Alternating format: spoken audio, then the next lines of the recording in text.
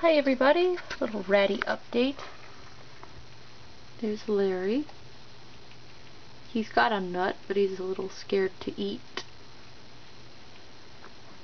And up here we've got Hogan the Wonder Rat munching away on his nut.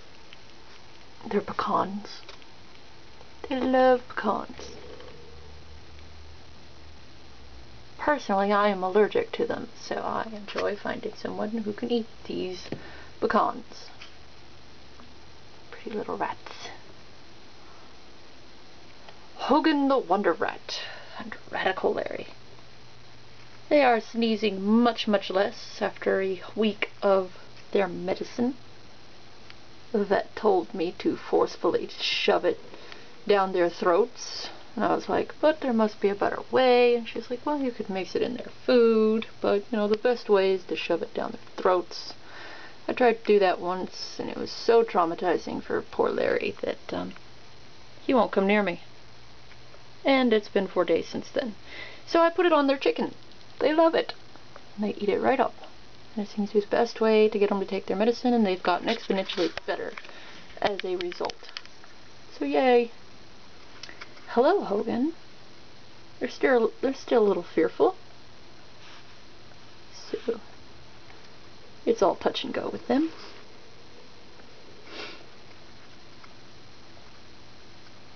Still doing my best to let them know that hey, I mean them no harm. Every now and then I've got the I've got the uh, some wheels on these and I'll wheel it on over to a secure room where I can open it, let them come out on their own and play around and I'll sit down with them but they'll crawl all over me. As long as it's their idea they seem to enjoy it. Poor Larry he's so scared. Hogan weighs a whole kil uh, 10, 10 kilograms sorry than Larry. He is gigantic in comparison. Makes it a little hard to believe that these guys are indeed brothers, but, you know, anything's possible. They like to run on their wheel. They're practically litter trained, although Larry likes to dig it up, put it on the soft carpet. I don't know why, but he does.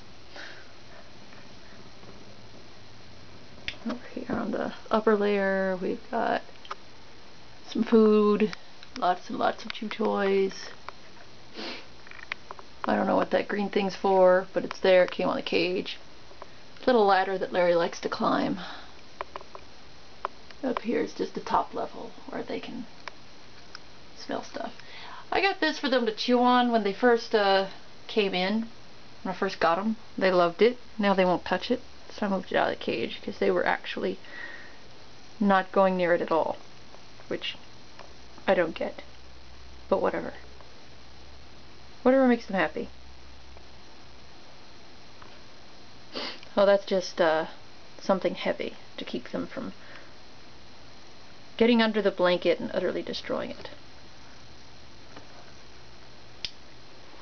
As for the gerbils, we have gerbil baby bunny hiding somewhere under. No, she's not.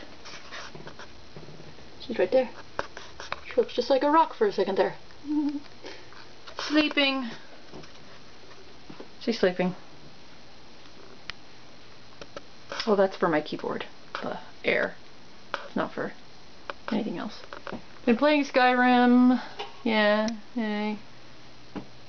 And over on this side is where Cookie's cage is.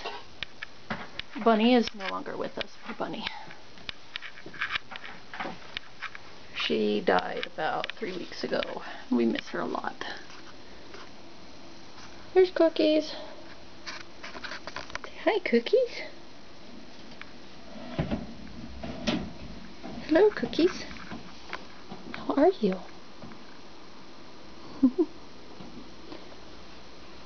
Burying your food again. I can't see how much food you have left.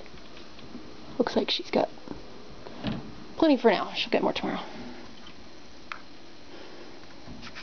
She is so cute. Her fur has gotten a little darker, but that's okay.